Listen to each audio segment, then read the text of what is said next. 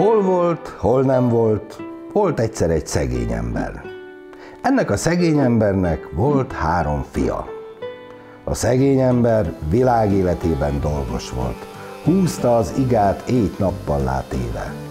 A munkából hazaérvén még főzött, mosott és takarított a fiai után. Igen ám, de a fiúk közül nem mind örökölte apja szorgalmát és szeretetét a munka iránt. Csak ültek otthon és lopták a napot. A harmadik fiú viszont szorgalmas volt, tanult és olvasott, apjának is besegített a házi munkában. Egyik hajnalban, mikor az apa hazafelé tartott a munkából, furcsa teremtményre lett figyelmes az út kellős közepén. Ahogy közelebb ér hozzá, látja, hogy ez bizony nem is ember. Lába helyén patát viselt. Maga volt az ördög. Add nekem a lelked, szegény ember. Cserébe kívánhatsz tőlem hármat. Szólt az ördög.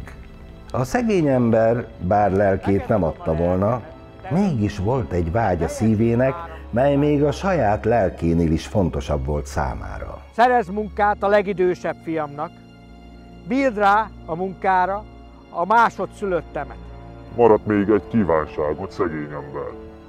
Nois, a legkisebb fiadnak nem kíván semmit? Neki csak azt kívánom, hogy maradjon meg ilyen becsületesnek. A következő napon a szegény ember kiadta a legidősebb fiú útját. Azt mondta neki, hogy haza ne térjen addig, amíg munkát nem talál. Ment, mendegélt, még egyszer csak egy varázslatos helyre nem ért. A helyet az internetnek hívták. A fiúnak nem is kellett dolgozni, hogy megéljen. Fotográfiákat készített magáról, és az azon elhelyezett termékeket promótálta jó pénzét cserébe. Hallottátok, hogy egy millió alkoholista országa vagyunk? Legyél te az egy millió egyedik. A dohányzás káros? Lehet. De én szeretek veszélyesen élni.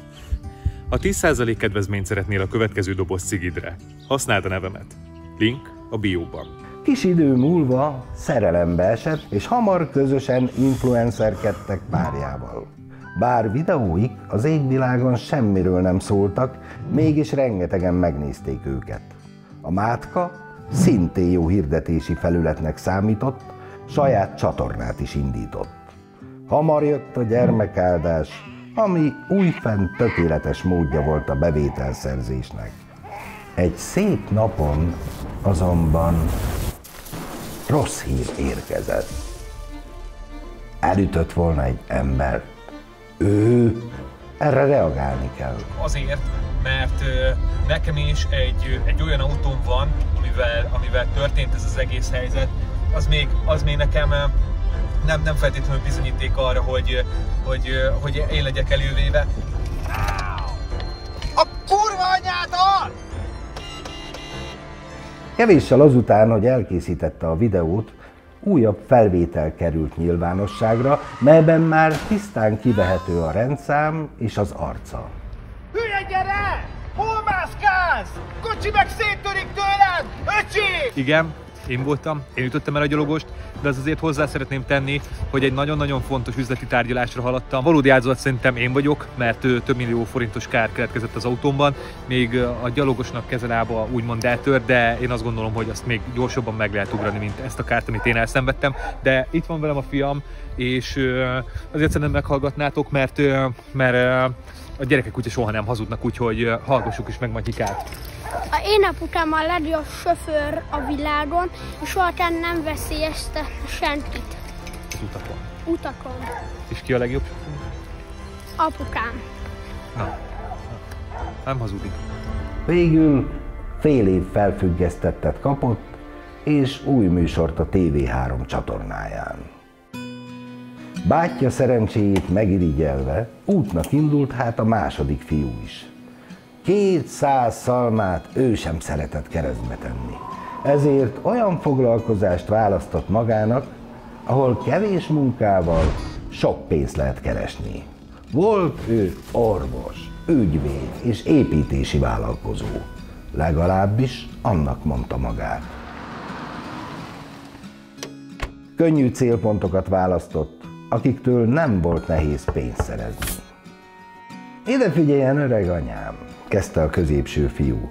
Egy páratlan lehetőséggel fordulok most önhöz. Egy afrikai herceget képviselek, akinek elbitorolták a trónját. Százszorosan téríti vissza azoknak, akik adományoztak neki. Jaj, de jó! Hát itt a félretett kis megtakarításom, válaszolt az asszony. Küldje csak neki az egészet, hadd kamatozzon százszorosára. Annyira nem szeretett dolgozni, hogy előfordult, ki sem mozdult a házból. Halló! Özvegy Szabódé? Igen, az vagyok. Pintér százados vagyok a budapesti rendőrkapitányságtól. Sajnálattal értesítem, hogy az unokáját garázdaság miatt előállították. Csak 50 ezer forint óvadék ellenében szabadíthatja ki. Jézus Máriám, Jocikám, mit csinált? Mit csinált a Joci? Hogy tudok neki segíteni? Hova küldjem a pénzt, hogy mielőbb megszabaduljon? Írja fel diktálva a bankszámlaszámot, ahol küldheti a pénzt. Öreg anyám, ne bízzon a nyugati gyógyszerlobbiba. Használja inkább a csoda vitaminunkat. Ez majd kiűzi a vírusos sejteket a testéből. Végre egy becsületes ember. Le is mondom a jövő heti védőoltásom.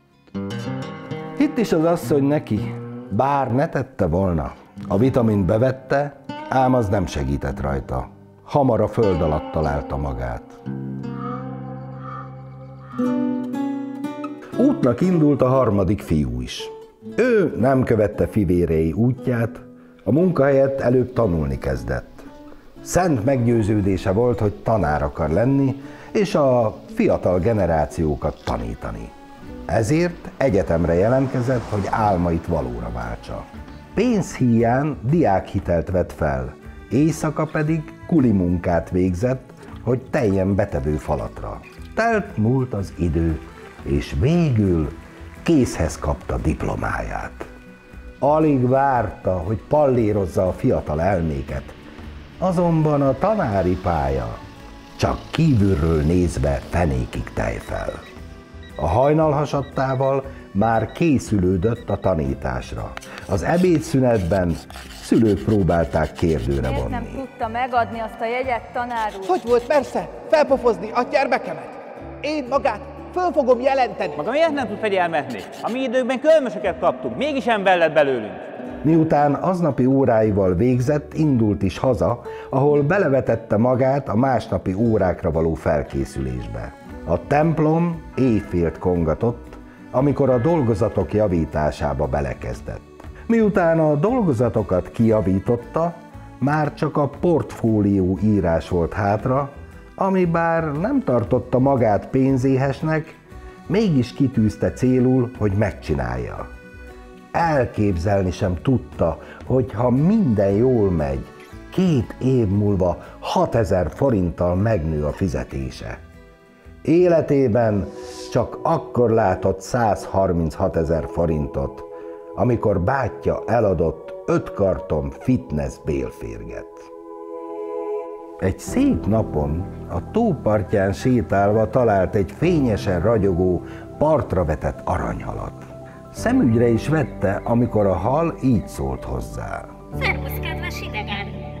Ha visszadobsz a tóba, teljesítem három kívánságot.